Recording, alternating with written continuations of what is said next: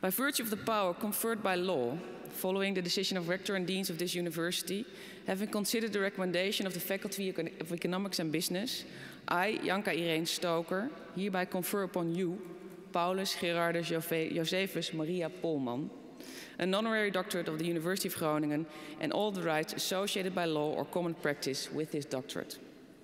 As proof thereof, the Rector Magnificus will present you with this doctoral diploma, signed by the Rector, Secretary and Honorary Promoter, and adorned with the Great Seal of the University, and the Pro-Rectores will drape you with the cappa, which is the symbol of the honorary doctorate, doctorate awarded to you.